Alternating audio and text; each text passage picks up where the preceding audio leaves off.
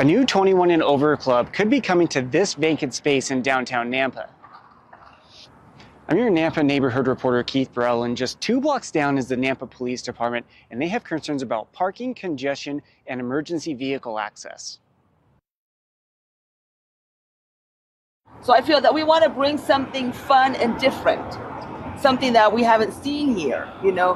That's what we're willing to do. You know? Jorge Perez and his wife Sylvia Barrios have lived in Nampa for two years and have a decades long experience running nightclubs in San Jose. So this isn't new to us. So we know exactly how to run a bar, you know, we know what kind of music to play. Eager to hear when the spot in Nampa will open, Jorge has bands from all across the world ready to visit.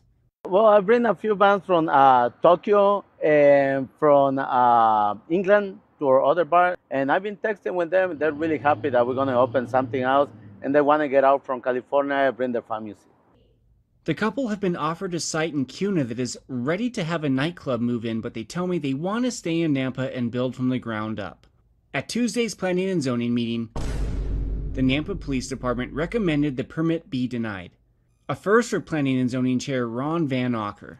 The department expressed concern over parking being inadequate for the type of venue expecting club goers to use parking lots of other businesses that could lead to parking disputes.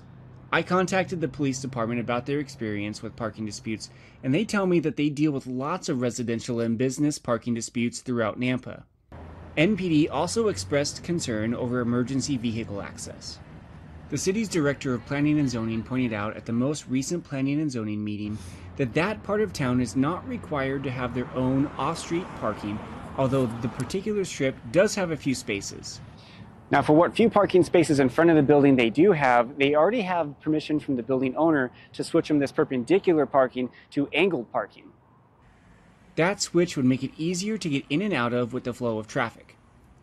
NPD also expressed concern over congestion on First Street South, a section frequently used by emergency vehicles that could delay response times. The warehouse is just one block from the city's parking structure.